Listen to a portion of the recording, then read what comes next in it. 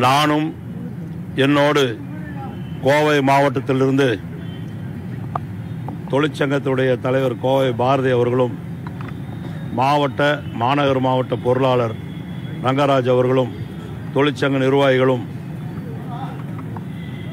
மரியாதைக்குரிய மாண்புமிகு அமைச்சர் அண்ணன் செந்தில் பாலாஜி அவர்களோடு சேர்ந்து கலந்து பேசி இன்றைக்கு கழக தலைவர் மரியாதைக்குரிய மக்களின் முதல்வர் தமிழக முதல்வர் ஏழை எளியவருடைய வாழ்க்கையில் அன்றாட அவருடைய வாழ்க்கை தரத்தை உயர்த்துவதற்காக சிறப்பான ஆட்சி நடத்துகிற முதலமைச்சர் மாண்புமிகு அண்ணன் மு க ஸ்டாலின் அவர்களை சந்தித்து இன்றைய தினம் திராவிட முன்னேற்ற கழகத்தில் எங்களை இணைத்துக் கொண்டோம். ஆயிரத்தி தொள்ளாயிரத்தி எழுபத்தி ஒன்றில் பதினாலு வயதில் திமுகவுக்கு உதயசூரியன் சின்னத்தில் வாக்கு கேட்டு செயல்பட்ட நான் இவ்வளவு நாள் கழித்து மீண்டும் தாய் கழகத்தில் இணைந்து செயல்படுவதற்கு வாய்ப்பை கொடுத்தமைக்கு என்னுடைய நன்றியையும் பாராட்டையும் தெரிவித்து இந்த நாலரை ஆண்டு காலமாக இரண்டாயிரத்தி பதினேழு பிப்ரவரி பதினாலாம் தேதியிலிருந்து இரண்டாயிரத்தி இருபத்தி ஒன்று வரை ஒரு சுனாமி வந்து நாட்டில் அழிவை ஏற்படுத்தியதைப் போல் எடப்பாடி தலைமையில் ஒரு பெரிய சுனாமியாக மக்களை ஏமாற்றி நாட்டை ஏமாற்றி தமிழ்நாட்டை அழிவு பாதைக்கு அழைத்து சென்ற அவருடைய செயல்பாட்டின் மூலம் இன்றைக்கு தமிழ்நாடு சீரழிந்ததை இன்றைக்கு சீர்படுத்தி இந்த ஒன்றரை ஆண்டு காலத்தில் மக்களுடைய மனநிலையை புரிந்து ஏழை எளியவர்களுக்காக மக்களாட்சியை நடத்துகிற மக்களாட்சி தத்துவத்தை செயல்படுத்துகிற சமூக நீதியின் பாதுகாவலர் அண்ணன் மாண்புமிகு முதலமைச்சர் அவர்கள் தலைமையில் இன்றைக்கு நாங்கள் செயல்பட வந்திருப்பதும் நான் நாலரை ஆண்டு காலமாக அவர்களுக்காக வக்காலத்து வாங்கி பேசியதற்கு இன்றைய தினம் நான் மக்களிடத்தில் பாவ மன்னிப்பாக கேட்டுக்கொள்கிறேன். காரணம் இன்றைய ஆட்சியில் சிறப்பான செயல்பாடுகள் குறிப்பாக பெண்கள் தாய்மார்கள் மூன்றரை கோடி பேர் வாக்காளர்களாக உள்ளார்கள்.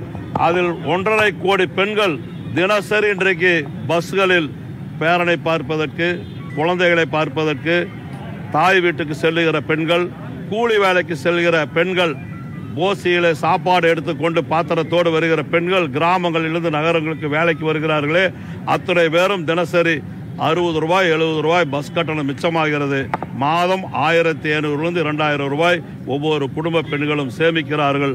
அப்படிப்பட்ட பெண்களுடைய ஆதரவு நம்முடைய முதலமைச்சருக்கு எப்பொழுதும் உண்டு. இன்றைய தினம் எங்கு பார்த்தாலும் தமிழகம் முழுவதும் எந்த ஒரு வியாபாரியும் பாதிக்காத அளவுக்கு எந்த அரசியல் தலையீடும் இல்லாமல் எந்த ஒரு பிரச்சனையும் இல்லாமல் மின்சார தட்டுப்பாடு இல்லாமல் தமிழகம் முழுவதும் முறையாக மின்சாரத்தை வழங்கி இன்றைக்கு தமிழகம் தன்னிறைவு பெற்ற மின்சாரத்துறையாக செயல்படுத்துகிறார்கள் மாண்புமிகு அமைச்சர் அண்ணன் அவர்கள். இன்றைக்கு நூறு யூனிட் மின்சாரம் கொடுப்பதை ஏதோ நிறுத்தி விடுவார்கள் என்று தவறான பிரச்சாரத்தை பரப்பிக் கொண்டிருக்கிறார்கள். அந்த சூழ்நிலை என்றைக்கும் வராது. இன்றைக்கு மின்சாரத்துறையில் சிறப்பாக சீரமைத்து தங்கமணி அமைச்சராக இருக்கின்ற பொழுது பத்தாயிரம் விவசாயிகளுக்கு தான் இலவச மின்சாரம் கொடுத்தார்கள். ஆனால் இன்றைய தினம் ஒன்றரை லட்சம் விவசாயிகளுக்கு இன்றைக்கு இலவச மின்சார இணைப்புகளை கொடுத்து விவசாயிகள் வாழ்வில் ஒளி விளக்கை ஏற்றி வைத்திருக்கிறார்கள். மாண்புமிகு முதலமைச்சர் அவர்களும் நம்முடைய மின்சாரத்துறை அமைச்சர் அவர்களும். இப்படி ஏராளமான திட்டங்களை கொடுத்து தமிழகம் முழுவதும் இன்றைக்கு மக்கள் ஏற்றுக்கொள்கிற திட்டம் ஆயிரம் ரூபாய் படிக்கிற பெண்களுக்கு கல்லூரிக்கு செல்லுபவர்களுக்கு கொடுக்கிறார்களே. அதன் மூலம் இன்றைக்கு பதினாறு லட்சத்துக்கும் அதிகமான பெண் குழந்தைகள் இன்றைக்கு அந்த பலனை அனுபவிக்கிறார்கள்.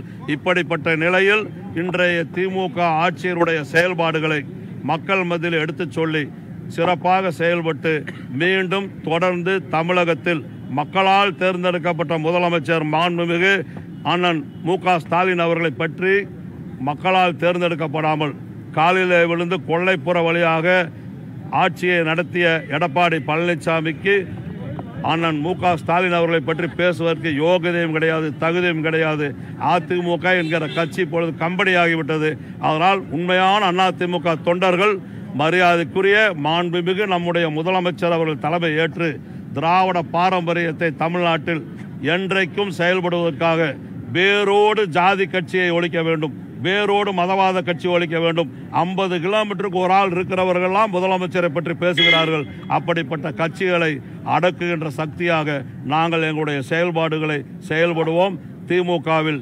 தமிழகத்திலிருந்து என்னோடு ஆதரவாக செயல்பட்டு பேசிக் கொண்டிருப்பவர்கள் கோவை மாவட்டம் சேர்ந்த அதிமுக தொண்டர்கள் எல்லோரும் சேர்ந்து ஒரு ஐந்தாயிரம் பேர் விரைவில் முதலமைச்சர் அவர்கள் நேரம் கொடுத்ததும் நாங்கள் திமுகவில் அத்தனை பேரும் கொண்டு வந்து இணைத்து சிறப்பாக செயல்படுவோம். கோவை மாவட்டம் என்றால் திமுகவுடைய கோட்டை என்பதனை அண்ணன் செந்தில் பாலாஜி அவர்கள் நிரூபித்துக் கொண்டிருக்கிறார்கள். அவரோடு சேர்ந்து நாங்களும் அந்த பணியில் ஈடுபடுவோம். நிச்சயம் தொடர்ந்து உங்களை சந்தித்துக் கொண்டிருப்போம். வணக்கம். சார்